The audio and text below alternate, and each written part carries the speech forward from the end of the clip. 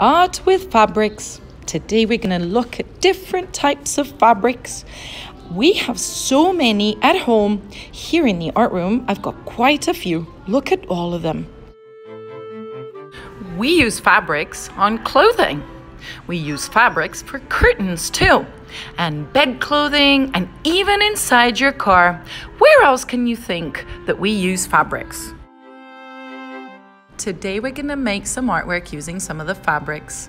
Have a look at home if you've got any scrap material, just like this. You will need scissors and you will need a glue stick. I created clouds, sun, it's actually a landscape, but you can do anything you want. Cutting fabric can be quite hard, so give it a go or ask for help if you need. Use a hard card to stick on and enjoy cutting some fabric. Once you've finished, take a picture of it and upload to Seesaw. Bye!